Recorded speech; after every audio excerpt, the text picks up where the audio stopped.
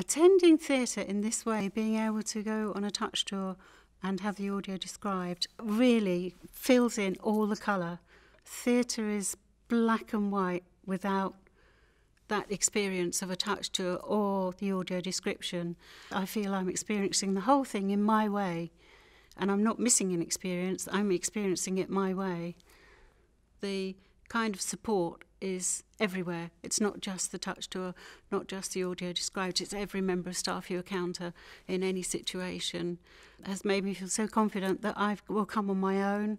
I come to one of the Get Writing courses that they run here, and it's because I felt so comfortable being a visually impaired person in an environment that just makes that so easy for me. Coming to CFT is the knowledge that whatever it is I'm doing here, whatever reason I'm here for, um, it's the, the, whole atmosphere, the whole staff um, in the box office, everywhere, are um, aware that you have a need, but they're not patronising. It's all it all seems so seamless.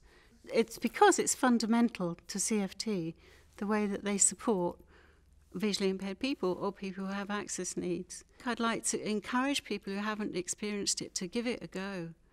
Really, you you know they will you will be made to feel relaxed. You won't be made to feel that you're causing any problems. I'd really encourage people to come and and uh, and in, you know and and enjoy it and relax and experience it. Yeah.